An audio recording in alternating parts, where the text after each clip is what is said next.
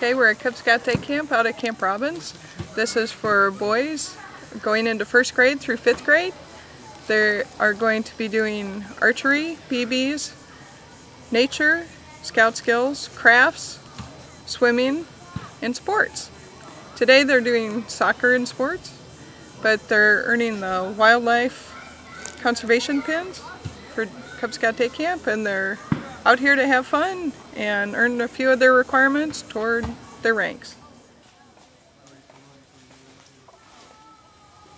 Nock your arrow. Do not fire yet. I want to walk around and make sure everybody's nocked their arrow properly. We're missing a lot of fletching.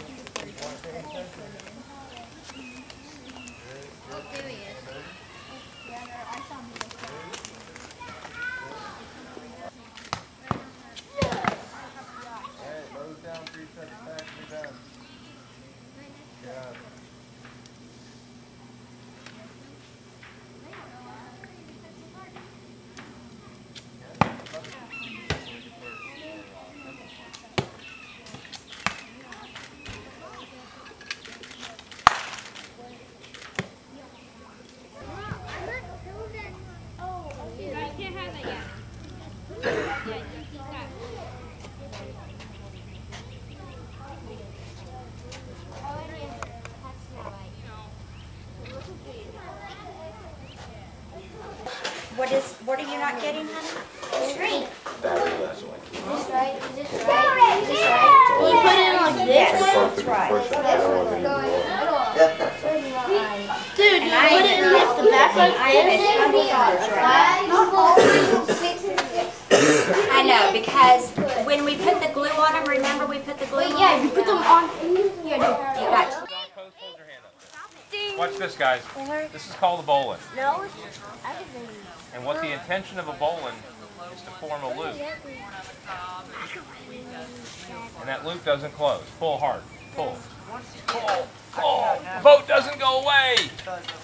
With 400 million pounds. No, you're not quite that heavy. I'm not that heavy.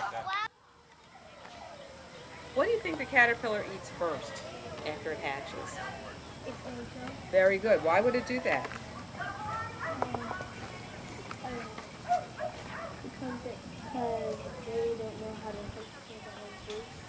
Well, remember, butterflies laid the eggs right on the plant that it's going to eat. Oh. What's the eggshell made of?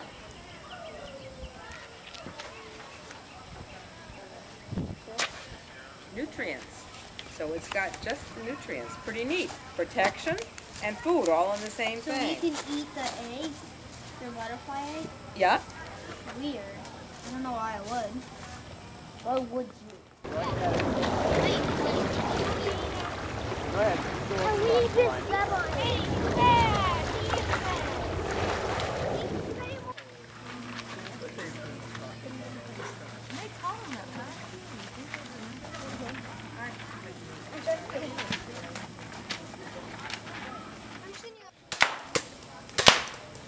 Well, I think that one was a dry fire. Bill, you let him figure out what he wants to do. Oh, wow. Oh, cool.